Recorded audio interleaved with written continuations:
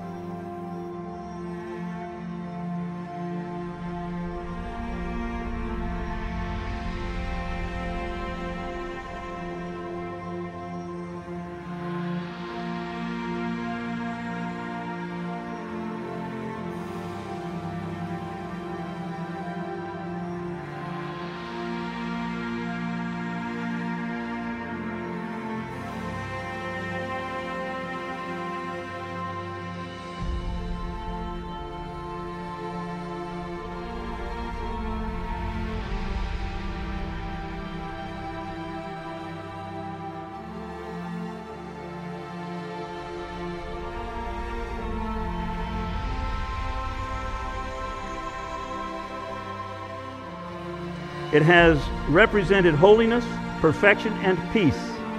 The significance of the wedding ring was defined in the 7th century by the Bishop Isidore of Seville, who wrote, It was given by the spouser to the espoused for the sign of mutual fidelity, or still more, to join their hearts to this pledge, and that therefore the ring is placed on the fourth finger, we consider the third, because a certain vein is said to flow directly from there to the heart. Damian, you may now kiss your bride.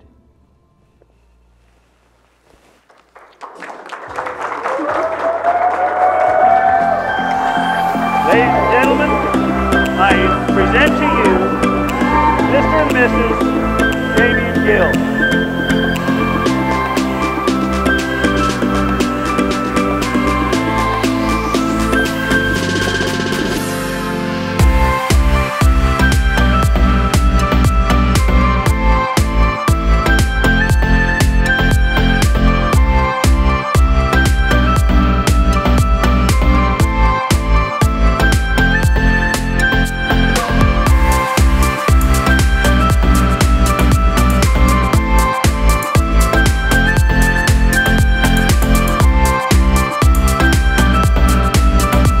She's the last one out of the out of the nest, so